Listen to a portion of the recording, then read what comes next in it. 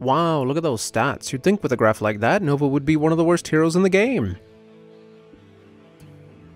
I'm not gonna pretend that Nova is a great pick. She has to work harder than other assassins for the exact same results. But I also think that every hero has its place. Even you, Hammer. So when it comes to hero choice, I just have one question.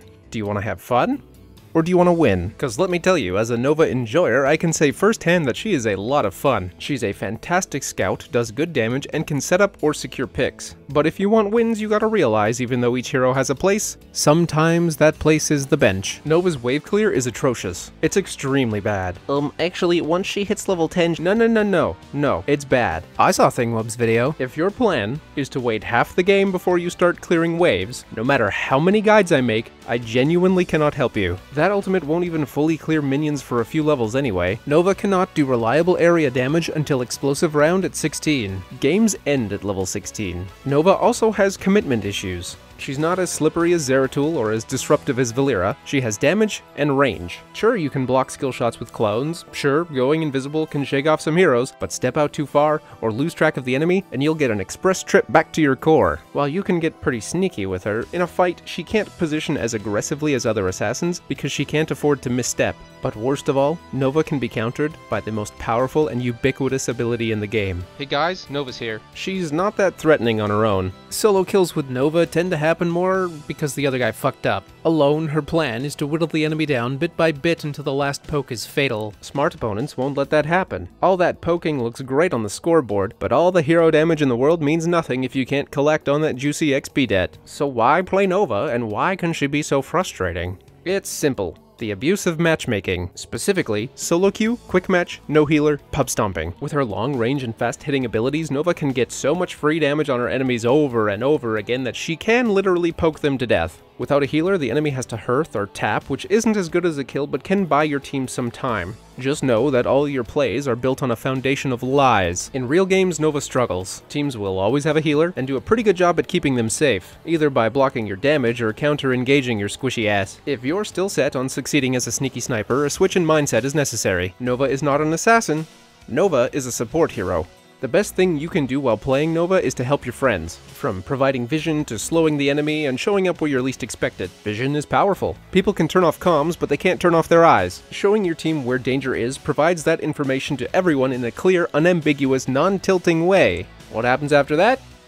Meh. At level 4, Nova can even contribute to lane pressure through ganking. This is the best bribe skill in the game. Stacks are pretty easy to come by if you keep up with the rotations and ganks. What's special about this talent is when Nova buys out a camp, it respawns 50% faster. What does this mean? Two things. One, you'll want to bribe camps on your side of the map. But I could steal enemy camps so quickly, isn't that better? I'm getting there, stop typing so fast. First, you need to understand that more is better than less. Let's say you're getting camps on cooldown. There's a 3 minute time frame between the first camp and the second. But if you bribe as Nova, you can squeeze another camp in there at a minute 30 seconds. If in a specific time frame you can send two camps down a lane where your opponents can only send one, which side has more pressure? I'm not saying to not bribe far camps, just be aware of the timing. The second thing to note is that if you're angling to bribe the enemy camps to deny them before the objective, chances are the enemy is already there and you might be better off rolling up in force to take it as a team. I know the skill is called Covert Mission, but don't be a hero. This isn't Metal Gear. Nova's abilities aren't terribly complicated, but a bit of nuance is required to get the most out of them. Pinning Shot is Nova's most dangerous ability. I'm serious. Do not underestimate how dangerous this slow can be. It is one of the easiest and safest to apply in the game. Just point and click. If you scoff at its power, I look forward to using you as footage. It starts fights, peels for your friends, and ends fights. 40% slow means enemies can't dodge and can't run away, letting your team follow up and allowing Nova to position for maximum damage. And position you must, gotta land those snipes, and there's 9001 ways those shots won't connect. Snipe is a stacking, high damage, long range, super fast skill shot. Each consecutive hit with this ability stacks 6% more damage on top of it, with a bonus 25% at a full 5 stacks. That is 55% more damage. It gets big. Just don't miss. A hasty shot early in a teamfight can turn you from a genuine threat to a piece of eye candy. You're a sniper. Be patient.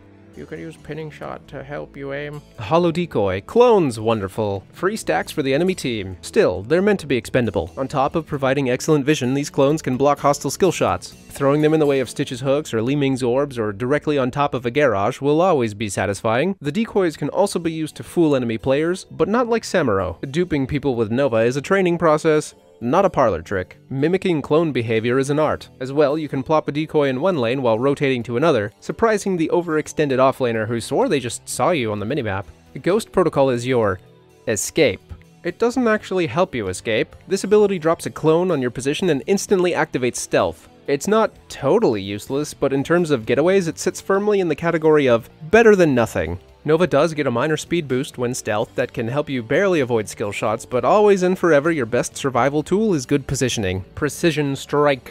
Finally some area damage. Global area damage. Precision Strike blasts an area after a short delay for good damage. While not as deadly as other ultimates, it still hurts and can be used to influence the direction of your enemies. Its global range also enables Nova to assist in macro plays, deleting large late-game minion waves or slowly chipping down enemy structures. Triple tap. Oh boy. People got opinions about this one. Always pick triple tap. Never pick triple tap. So which is it, Reddit? This ultimate fires three shots that add up together for massive damage, more than enough to finish off weakened heroes. Or, if you can do math and you're feeling a bit cheeky, you can use it to bully squishy heroes. That's why people say to always pick it, because it finally lets Nova secure her own kills. Sure, fine, okay, kills are good, but that is surface level value. Triple Tap's true strength lies a bit deeper than that because everyone is waiting for this ult. It is deliberate, loud, and dangerous. Triple Tap demands a reaction from the enemy team, instantly changing their priorities, pressuring your target to retreat or forcing their friends to RP as Secret Service agents. Be aware it can also be blocked by buildings. Everyone reacts to this ultimate. Everyone. Knowing when to lock in and disrupt the enemy teamfight can open up gaps in your opponent's plays, giving your team space to make their moves. You don't even need to get the kill. Sometimes, all it takes to win a fight is a change in focus or a moment of hesitation, which this ultimate can provide.